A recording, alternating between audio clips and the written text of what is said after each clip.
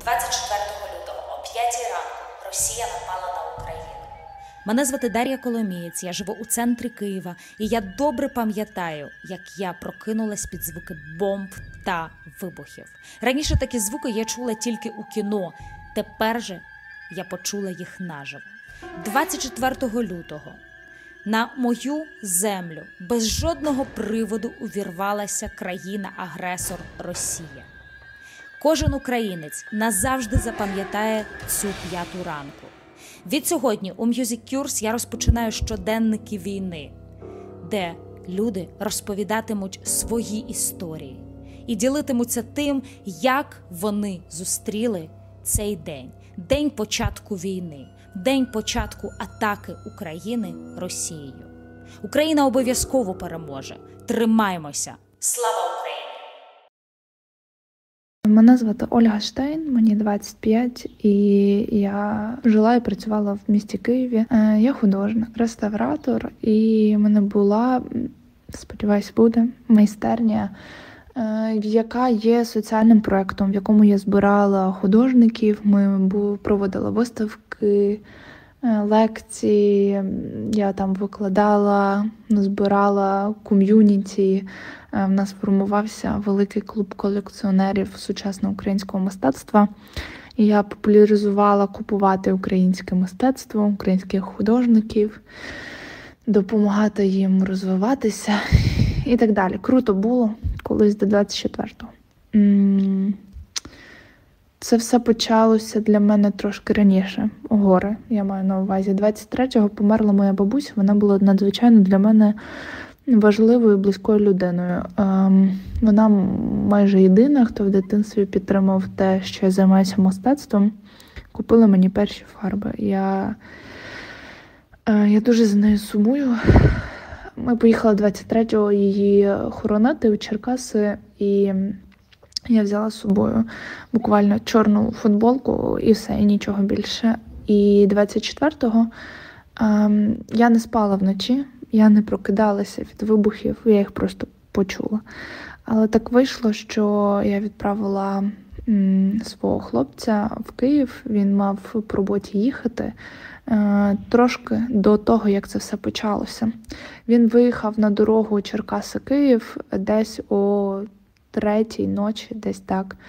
Е, а значить, що коли це все почалося, він вже посередині шляху десь був, і ми вже не мали зв'язку. Я думала, я його похороню за той час. Е, Зараз я щось посміхаюся над цим, але насправді це був дуже м- момент. Просто зараз е, згадую, яка я була тривожна. Зараз набагато більше можу пережити, як виявилось. Він поїхав у Київ і десь на середині шляху, навіть трошки далі, вже з'явився зв'язок. Я змогла з ним зв'язатися. Всі їхали з Києва, він їхав у Київ. Страшно було, але в нас не було ні паспортів, нічого, тому йому треба було туди таки доїхати. І він вирішив, що він таки це зробить. Він вивіз двох дітей наших друзів, е, допоміг моїй подрузі художниці виїхати, е, зібрав якісь речі паспорти і повернувся до мене. Тоді раділа, по-перше, що він повернувся, а по-друге, що бабцю встигли поховати 23-го, тому що ще буквально трошки і, і страшно подумати. От. Потім пройшов якийсь час. Перший шок прийшов, я зрозуміла, що потрібно працювати. Мене дуже розбивало те, що я не можу ні роботи продати, щоб віддати на ЗСУ якісь гроші, ні намалювати щось у підтримку, ні. Ну, власне, я нічого не могла робити. У мене був тільки ручка кулькова і листи для принтера, і все, більше нічого. Е, Хоча я і на цьому намалювала там, щось малювала, власне, коли ми сиділи під час тривог. Через який час мені подзвонила моя кураторка. В мене ще раніше була запланована велика персональна виставка в центрі Парижу. Я мала вести абсолютно інакшу історію, туди абсолютно інакшу виставку, але після 24-го вже, вже нічого не було як раніше. І моя кураторка в неї її брат воює зараз прямо на передовій, він воєнний. І ми вирішили, що так, це буде правильно привести щось абсолютно інакше. Вона в мене повірила, дозволила мені зробити нові роботи. Але все ж треба було забрати якісь фарби, тому що, як виявилося, це найдорожче, що в мене є, і мої картини. Але, звичайно, їхати у Київ було дуже страшно. Та і ми самі не змогли вивезти. У мене роботи дуже великі, там двохметрові, і потрібно було шукати якусь фуру, яка б змогла це вивезти. Я кинула клич між друзів, можливо, є якась гуманітарка, їде, я не знаю, зі Львова там до Києва і буде повертатися пустою. Знайшли машину, е, так символічно склалося, що вона знайшлася 8 березня. Такий був для мене подарунок е, від Марка, е, що він таки наважився. 8 е, березня їхати зі мною у Київ на нашій машині для того, щоб відкрити майстерню, перепакувати усі речі і скласти їх у фуру, яка їх довезе до Львова. Ми зібралися, склали чемодани, дуже страшно. Дідусь дав каністру бензину е, і поїхали. Дорога пуста, е, стоять якісь кинуті машини бензину трохи там буквально на якійсь там парі заправок є. В'їжджати в Київ страшно, всюди блокпости. Ми просто їхали, якби тоді ще не було зрозуміло, що з Києвом. Тоді було ще дуже страшно. Тоді ще все могло бути не так добре. Але ми все ж приїхали. Було дуже дивно заходити в свою квартиру. Там тихо, зів'ялі квіти пусті вазонки вже деякі, тому що там вже труха лишилась. Е, швидко запакували всі картини. Приїхала фура, ми їх туди склали. І в мене є така символічна фотографія, яку Зотель Марк зробив, де я плачу над картинами, які ми спакували. Плачу, тому що мені було дуже страшно, що вони не доїдуть, а там усе моє життя. От все, що я мала, це найдорожче, це оці картини. І чи доїдуть вони, чи ні, тоді ясно не було. Насправді я не дарма хвилювалася. Потім, коли ми вже все спакували, машина виїхала. Потім трошки пізніше ми спакувалися і теж вирішили їхати за картинами до Львова. Це все, щоб ви розуміли, під час сирен такий сюрреалізм ситуації. Пустий Київ. Ну, власне, ми теж виїхали в сторону. Е, Львова, це хто їхав, той знає, що це точно не дорога в один день. Ми потім зупинялися в людей, яких ми зовсім не знаємо, просто на там спати десь в когось. Ем, В якийсь момент цієї дороги, десь посередині, нам е, подзвонив водій, який е, віз мої роботи. Виявилося, що фура під'їхала до блокпосту, блокпост розбомбили. Машину потрясло добряче. В мене досі на деяких картинах, на підрамниках є сліди того, як е, їх трусило, і начерблені, начерблене дерево. Але я думаю, що я того не буду виправляти. Це настільки згадка про цей момент, воно мені так навіть дорожче. Але приїхала, машина приїхала, нас зустріли мої друзі-художники. Е, я надзвичайно їм вдячна Міра Бочкур і Вадим Панченко. Вони зустріли, прихистили мої роботи. Вадім дав свою майстерню для того, щоб я десь могла працювати, тому що я мала все ж таки працювати і робити щось е, для виставки. Паралельно у цей час у мене з'явилися роботи, я могла продавати їх і віддавати гроші на ЗСУ. Мене купили шість робіт. Я віддала майже все на благодійність, лишила тільки трохи грошей для того, щоб можна було вивезти потім роботи до Парижу, щоб можна було заплатити. А власне потім почалася історія, частина номер два цієї дуже складної дороги, тому що ми мали зробити документи на вивіз моїх картин до Парижу е, в Україні. Для того, щоб це зробити, треба пройти певну експертизу, щоб сказали, що це не є е, там історичною великою цінністю, яку щоб дозволили власне вивозити ці картини. У Львові була надзвичайна черга, і ми вирішили, що поїдемо у Чернівці для того, щоб зробити ці дозволи.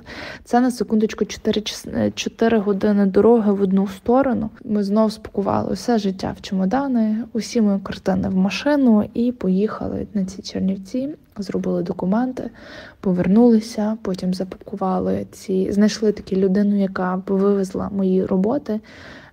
У нас ще була дуже довга історія з тим, як ми домовлялися про те, щоб вивезли, тому що Нас некрасиво кинули е, перевізники, і нам прийшлося шукати людину, просто людину, яка б змогла це зробити. Знайшли, але він був призовного віку.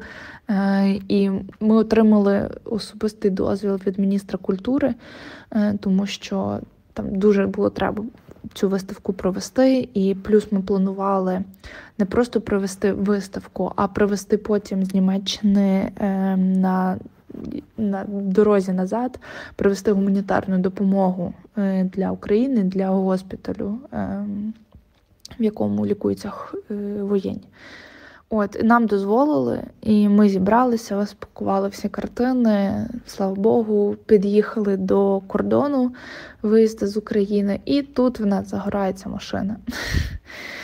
Я вже думала, що вже все зі мною сталося, вже війна сталася, вже все страшне сталося. А от виявляється не так. Я схопилася за картину, що зверху лежала, така одна з найменших, за паспорт, і вибігла, просто вилетіла з цієї машини як куля. Е, добре, що водій такий вправний, був він все швиденько відключив, дістав е, там всю торпеди, всі провода, знайшов, де було там з проводами щось не так, і е, він там вирішив цю ситуацію. Я, на жаль, не знаю, як воно все правильно називається, тому що я не вожу, але е, він щось вирішив. І ми поїхали далі. Єдине, що дуже пізно їхали, і їхали потім такі м- пробиті, просмажені цим димом купа зупинок, і от ми все ж доїхали. За цей час я встигла ще двічі загубити свій паспорт. Дорога була довга і складна, але все добре. Що добре закінчується. Виставка вже відбулася, е, вона отримала досить великий резонанс. Я сподіваюся, що ми досить багато зробимо для зробили вже, і воно буде помітно у пресі в плані того, що в е, мене брали декілька інтерв'ю, і я розказувала про те, яка зараз ситуація в Україні, як це зараз е, відбувається. Прийшли люди з Міністерства культури Франції.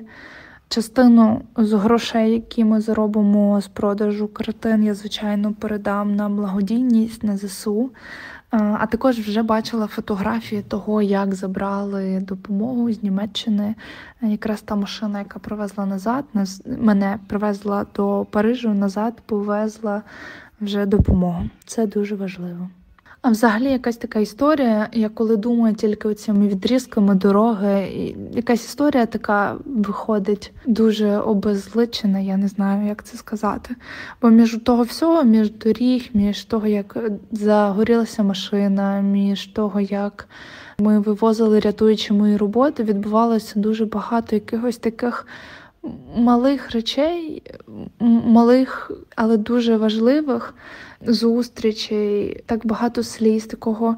От я не думаю, що це можна якось передати словами, те, як ти повертаєшся оцю майстерню, з якої я вивозила. А там колись там колись приходили по тисячі людей на е, якийсь захід. Там ми зібрали рекордні гроші е, колись е, з продажу там дуже дуже сучасного мистецтва для починаючих митців. Там зародився клуб колекціонерів, які вірили в українське мистецтво. Там Ем, знайомилися художники, і, наприклад, дуже багато тих художників, які познайомилися у мене майстерні. Там хтось з Харкова, а хтось зі Львова. Потім ті, хто зі Львова, просто рятували і прихищали в себе, е, прихистили в себе е, тих, з ким познайомилися на проектах майстерні. А потім ти приїжджаєш, а там пусто, а там нічого немає, а там глухий пустий Київ, тиша і тільки сирени час від часу. Це якісь такі речі, які дуже складно просто описати словами, або або це відчуття горя, коли ти дивишся новини, коли ти сам в скорботі, коли 40 днів пройшло. Вони просто відбувалися паралельно з цим функціоналом. Типу, функціонально потрібно було вести роботи, збирати речі, пакувати чемодан, дізнаватися, де взяти їжі, де взяти бензин, де взяти, куди де жити, де лишитися, де знайти фарби, сили. А паралельно, а паралельно чиясь смерть. Друзі не дзвонять. В мене найкраща подруга весь цей час була в окупації, і прямо перед тим, як е, ми мали виїжджати в Париж, я, вона змогла виїхати, і ми побачилися. І я так давно не плакала, як коли її обнімала. Як ми мамі шукали інсулін. Це якісь такі прості, функціональні іноді, але дуже жахливі речі, коли ти їх переживаєш. Неможливо. Я думаю, це якось вмістити в слова, але можливо ця історія комусь відкликнеться. Мені дуже додає віри, те, що під час навіть таких подій мистецтво живе, це культурний фронт, воно багато працює. Ми всі багато працюємо для того, щоб е, була перемога. А після перемоги була е, велика сильна країна з мистецтвом, культурою, е, яке продовжує жити, яке не вмерло під час цього всього. Мене це дуже надихає, дуже додає віри, що проекти починають робитися. От я зараз бачу, що, наприклад, паралельно зі мною в Берліні відкрилася виставка Маші Реви і Івана Грабко, і дуже класний проект. От а зараз записую це і бачу, що у мене така згадка зверху про те, що зараз повітряна тривога у Львові. Дуже страшно. Е, Надзвичайно шкодую, що поїхала, лишила усіх близьких в Україні. Дуже хочу повернутися. Але вірю, що можу тут зробити більше. Дякую, що послухала.